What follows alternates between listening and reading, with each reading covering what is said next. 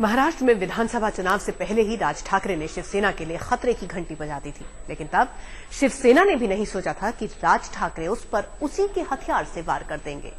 राज का सबसे मारक हथियार है उनका अंदाज, जो उन्होंने शिवसेना प्रमुख बाला साहब ठाकरे से ही सीखा है।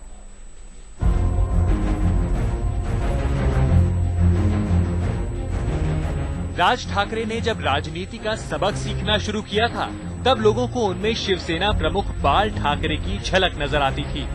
चाहे चेहरे का भाव हो या चश्मे के पीछे से झांकती गुस्सैल आँखें। शिवसेना छोड़ने के बाद भी उन्होंने अपनी स्टाइल में बाल ठाकरे की झलक दिखाना बंद नहीं किया। मैंने कहा छत्रपति शिवाजी महाराज के नाम पे जो कोई राजनीति कर तुझे कांग्रेस करना राज ठाकरे ने ये अदा चाचा बाल ठाकरे से ही सीखी थी। मी पवारांची कधी हजामत केली नाही पण करण्यासारखं काही राहिलंच नाही।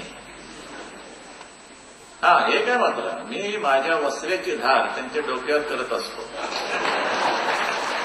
ते गुळगुळीत असल्यामुळे धार करणार ना बाल ठाकरे की तरह कार्टून बनाने वाले राज ठाकरे ने भाषण देने का हुनर भी चाचा से ही सीखा।